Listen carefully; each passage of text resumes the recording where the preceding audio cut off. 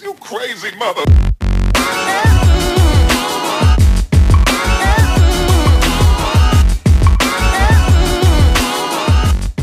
YouTube, YouTube! It's all in hand here again. Today I'm going to be showing you how to get live sports via the App Store completely free. Links in the description. We'll go straight ahead with the video. Click on the first one.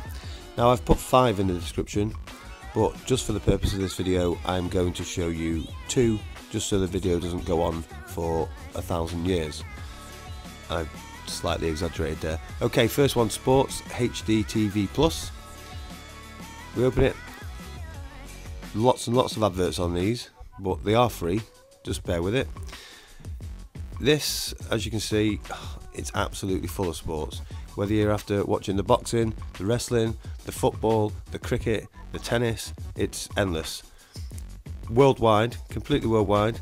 So for all you people that want to watch, say if you're in the UK and you want to watch the Premier League and it's a three o'clock kickoff, as we all know, they're not shown on TV and some of the lower league teams they're not shown on TV a lot of the time anyway. These apps are brilliant for watching games like that. Um, if we click on, let's click on Premier League just because I was talking about it. See, as you can see, they were the games from yesterday. They will update normally about an hour before the game actually comes on of anything that you want to watch. Anyway, this app is extremely good. You've got the Liga, Bundesliga, Premier League, like I say, everything on there. Let's move on to the next app. Again, you'll find the link in the description in the order that I've put them on here. PTV Sports HD free. And as you can see here, we've got Premier League, live football, live cricket, BT Sports, All Sports, Arena Sports, wrestling, boxing, entertainment, news, racing. Uh, let's go down and click on All Sports. Oh, that must have been. Is that what I was on already? Is it? No, surely not. Let's have a look. Oh no, BT Sport. There you go.